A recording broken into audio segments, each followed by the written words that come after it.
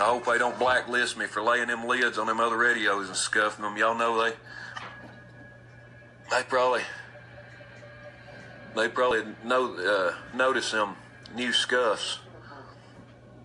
Damn, there's another truck CB sales down job. I mean, gump job. My bad. I mean, hell, I don't know. Just fucking we I got to make this video comical. I mean, we're being serious and all, but might as well poke at you a little bit. I mean, hell, somebody else liable to poke at you. Another little old kid off in there. Uh, I don't need some medicine this morning.